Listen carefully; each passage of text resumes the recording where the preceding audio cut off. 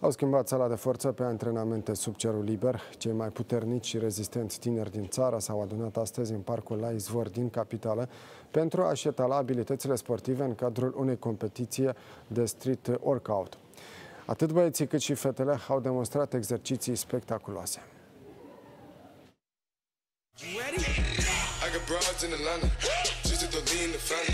Credit cards the scammers, hitting the licks in the van.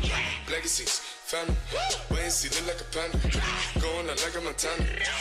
Tinerii spun că acest sport poate fi practicat pe tot parcursul anului, indiferent de condițiile meteo. Participanții au dat dovadă de tenacitate și o pregătire fizică de invidiat.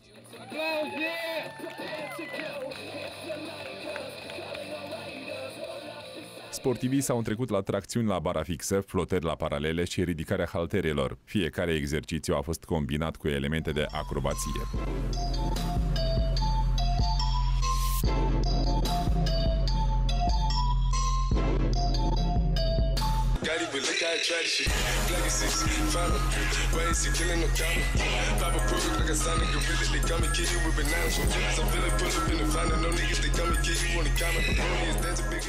Practic deja de aproximativ 9 ani sportul în, înainte m-am ocupat, de exemplu, cu uh, greco-romană, adică trenda greco-romană, mai apoi puțin boxul și am ajuns la moment, mă practic street workout.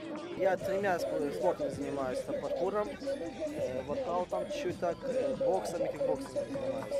развивает человека, мышление человека. Это очень интересное направление, движение, которое сплощает людей, делает сильнее физически, духом, и просто появляется желание жить дальше.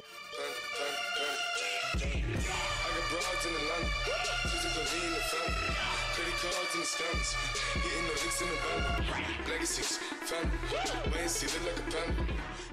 Competițiile au fost jurizate de către invitați din România. Ce sport a evoluat uh, mult mai repede și mai frumos în Moldova, începe și în România să se ridice.